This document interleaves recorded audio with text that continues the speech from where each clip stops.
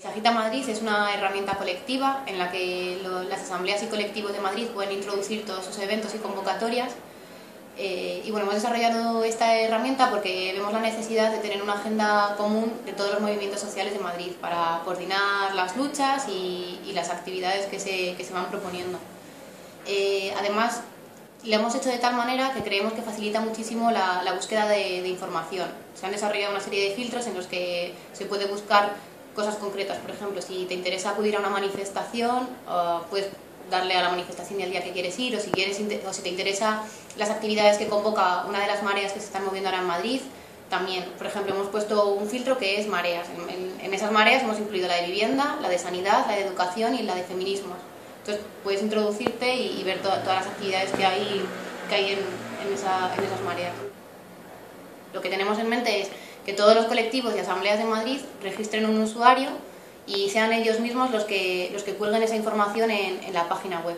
Simplemente entrar en agitamadrid.org y entrar a una pestaña que pone registrarse y ahí simplemente meter su email y, y darle a enviar. Y con eso eh, se registra y luego nosotros intentaremos contactar con ellos para, para darles de alta tenemos mucho que desarrollar, pero de momento lo que queremos es que los colectivos y las asambleas de Madrid introduzcan sus eventos y luego más adelante queremos que la, agenda tenga un carácter social, es decir, que las individualidades puedan registrarse y poder crear su propia agenda. Por eso hemos también matizado el tema de toma la agenda, es decir, que puedas eh, seguir a colectivos o determinadas actividades que te gustan o marques un, marques un evento como eh, favorito para que luego a continuación, la semana siguiente, eh, te lo recuerde la propia agenda y, puedas ir, ¿no? Que ese, tipo de historias normalmente no, nos acordamos o no las apuntamos y acabamos por no ir por eso. Sí, o sea, tiene, o sea, realmente tiene dos objetivos principales.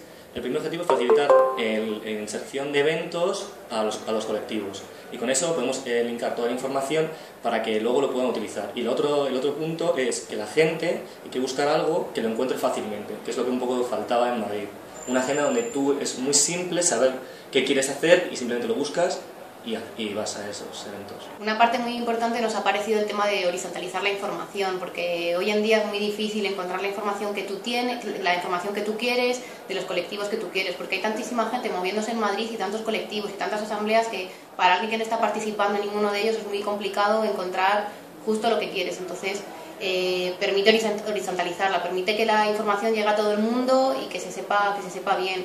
Eh, permite también que...